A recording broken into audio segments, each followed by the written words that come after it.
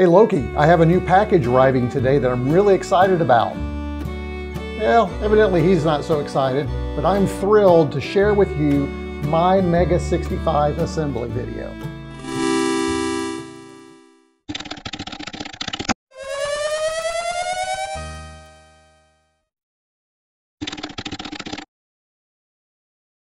Hey, this is Retro Combs, and I am thrilled today to share with you my Mega 65 assembly video and first use. We're going to take a look at the entire Mega 65 process as I go from open the box to assembly to first use. It's going to be really exciting. So first an introduction. My very first computer was this wonderful device, the Commodore VIC-20. You see I'm sporting the Commodore VIC-20 shirt. I purchased this, this computer about 40 years ago from a Sears catalog store in a town of about 3,000. So I waited for this device to arrive at my door after spending some time making money mowing yards so that I could be the first in my community to own a personal computer. And what a wonderful opportunity that was. The Commodore VIC-20 was the perfect first computer for me. You can imagine the excitement I had when this device arrived at my door. Well, not at my door, but at the catalog store. I take the drive up. I have my mom drive me up there. I'm 15 at the time. I grab that device, I bring it home, I open the box, and I am just enamored by this device. Now, I was kind of a electronics and gadget geek the whole way growing up. I would take things apart, much to my parents' chagrin. So when this came, I just opened the box, lots of excitement, plugging it in, learning the program, saving programs on Datasette. It was a blast. And so I haven't really ever experienced that kind of excitement about a computer until recently.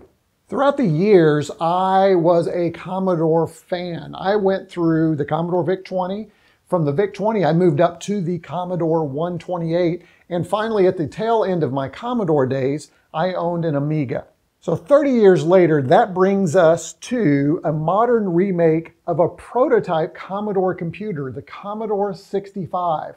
The Commodore 65 was kind of found in warehouses during the liquidation of Commodore back in 1994, and they found about 50 to 200. The, the uh, sources are a bit sketchy on that. Was it 50? Was it 200? So there's a huge story about the Commodore C65, and I'm not going to cover that story in this video. I would encourage you to check out the Wikipedia page to get you started. There's a lot of great resources. Because the C65 wasn't readily available, very few people were able to experience that machine. And again, Commodore never released the machine, so it was never meant for the mass public. So thanks to the folks over at the Mega Museum of Electronics, Games, and Art, linked down below in the video description, they decided to go on this journey of recreating the Commodore C65 for a modern era, for us to take a look at what could have been the 21st century realization of the C65 heritage, a complete 8-bit computer running around 40 times faster than a C64 while being highly compatible. C65 design, mechanical keyboard, HD output, SD card support, Ethernet, Extended memory and other features increase the fun without spoiling the 8-bit feel. Hardware designs and software are all open source. Now that open source is what really makes this project special. But for now, the only thing that consumers can get that's close to the Mega 65 is the Mega 65 Developers Kit or Dev Kit, which I have right here in front of me. So let's talk about the dev kit. And unfortunately, it too is not available when you're seeing this video. There were only 100 copies of the dev kit. The dev kit provides early access to hardware and software so developers can begin programming with the hope that new programs and games, utilities, and productivity are available when the Mega 65 is finally released, again, hopefully in 2021. So what is in this thing? It has a Xilinx Artix A7 200T FPGA that functions as a 40 megahertz 8-bit processor to support both C65 and C64 modes. Yes, it has C64 mode support, much like the Commodore 128. What's great about the FPGA that's built into this is it has more than one core, which means the Mega can actually emulate, and it's not really true emulation, it's a hardware recreation of processors, but it can, we're gonna say for, the, uh, for, for this video, we're gonna say emulate. It can emulate more than the C64, C65. You can add additional cores. This FPGA could also become an Amiga computer if somebody were to build that core. But we can store multiple cores in here. And hopefully others will begin to develop cores for this device to make it even more fun to use. Some of the other great things we get is we get this wonderful Cherry MX mechanical switch keyboard. Listen to this.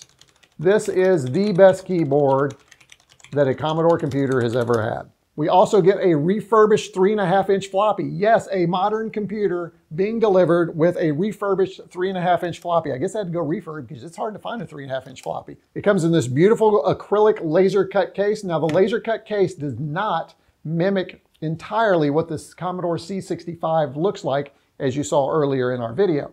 It does also include a numbered plate so that my dev kit is numbered. Again, there were only a 100 of those. And believe it or not, there is a working cartridge port on the back and other I.O. ports that make this unique over devices such as the C64, the C64 Mini, and the VIC-20. Those are FPGA devices as well, but they don't include the I.O. ports that make the Mega 65 a special device. So what that means is you can use some of your original cartridges, some of your original floppy disk drives using the IEC line that's built into this, as well as modern devices such as an SD to IEC or a Pi 1541. That will all work on this device, making it more like an original Commodore computer. And as my viewers and readers of my blog know, I really love retro computing, but I like that, what I call a modern spin on it. While I love original hardware, I love new hardware that harkens back to those old days. I like to add things like Raspberry Pis and Arduinos. Just take a look at my TEDuino project video, which is down there below. You definitely will see that that is a modern spin on retro computing. And I love that. A modern spin on retro computing. That's Retro Combs for you right there. So how did I get my hands on this device? Well, back in June, there was a call or a release that there would be a hundred versions or a hundred copies of the Mega 65 dev kit available. I usually am not the one who's fortunate to get in that window and get a device when I'm waiting in line for a limited number of quantities. However, I snuck in got one of these on order, and then the long wait to November occurred. And on November 24th, they started shipping. I received mine the day after Thanksgiving. It was Black Friday, and boy, what a great time. The holidays were here. I had some time off. I had a long weekend. It was the perfect time for the Mega 65 dev kit to arrive. Okay, well, you don't want to hear any more of my story. You want to see me open the box, assemble, and turn on the Mega 65 dev kit for the first time. So let's get started. Okay, and here's my VIC-20 sign as an homage to my early days of Commodore computing.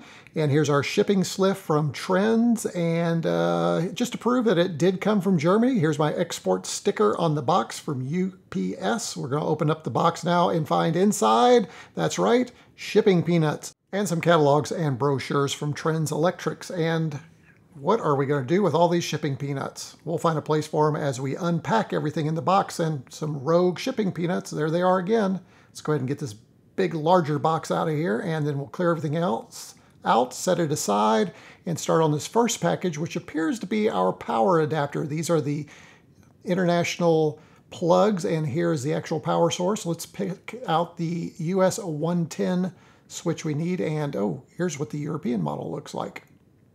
Okay, we'll put that back in the bag, snap that into place, and we are ready for power in the United States for our Mega 65. Here is that floppy that's refurbished and it is an Alps Electric. Man, I haven't seen that name in forever, Alps Electric. And this is a 3.5 inch floppy disk drive that we'll be using. I do not have a 3.5 inch floppy disk. I'm going to have to purchase one of those. This is the USB cable we can use to interface the Mega 65 with a modern computer like a Linux, Mac, or PC. These are all of our supplemental cables. We'll keep those in the bag for now. Inside this box appears to be our acrylic case, including access to the developer website. So we'll have access to files and developer information. We also have this package of small materials to help put the case together, including an SD card. This is our serial number plate. I have 00261, which is based on there being about 200 of these originally. So I'm number 61 And here are the acrylic pieces for the case. We'll move those. And here is a listing of everything included in German. And finally, we come up to this keyboard. The keyboard is a Cherry MX switched keyboard. It's a very nice keyboard. I was really surprised. It's heavy, it looks good, but also it includes these wonderful Commodore keycaps, just like you would find on an original Commodore computer, which is one of the things that makes this so much better than something like Vice, where you use a regular standard keyboard and have to figure out what the keys are. They're not all the same. Here is our motherboard, the Mega 65 Development Kit motherboard. And this includes our FPGA as well as all the other hardware we need for this device to act like a Commodore 65.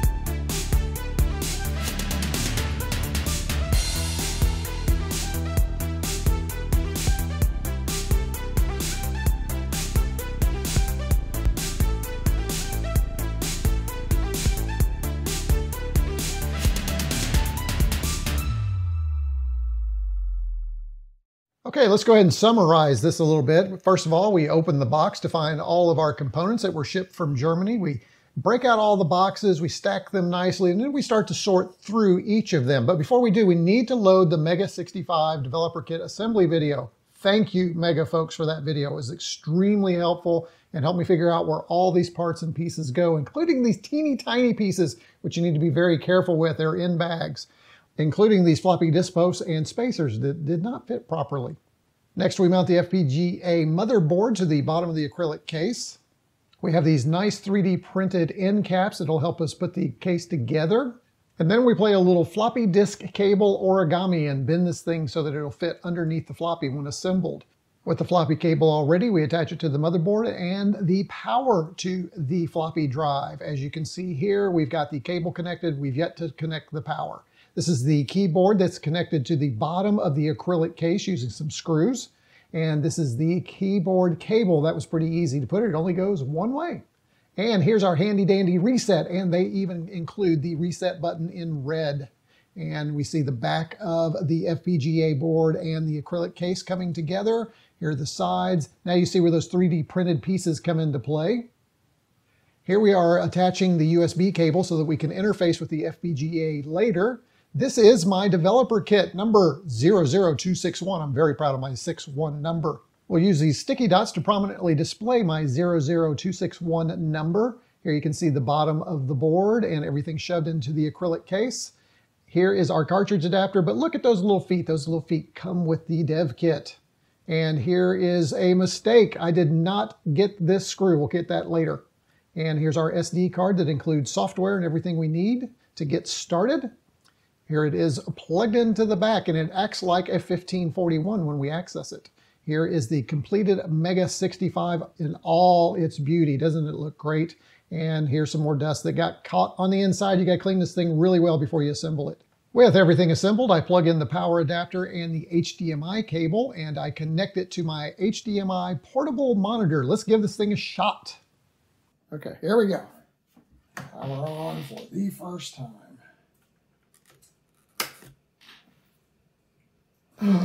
I got it. It's on. It's on.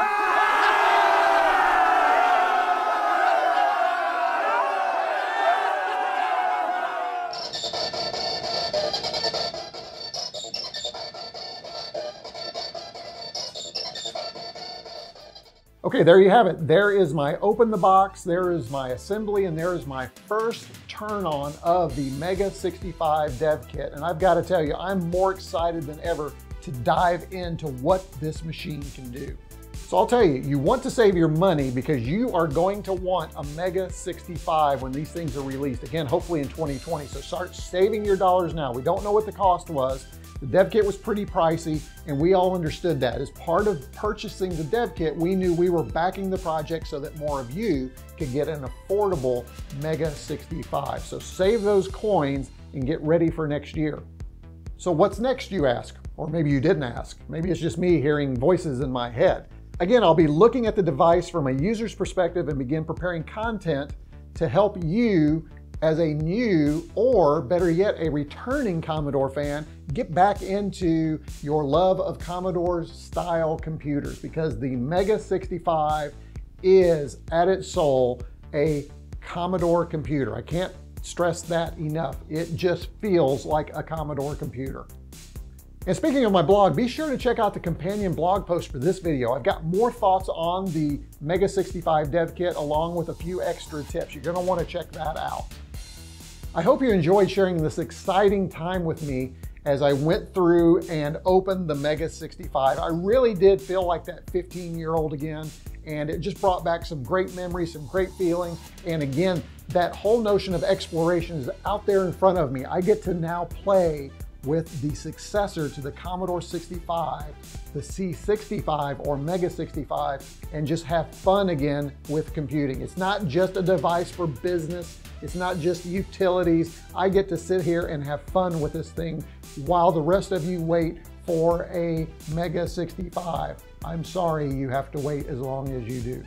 And that concludes this episode of Retro Combs. Retro Combs out.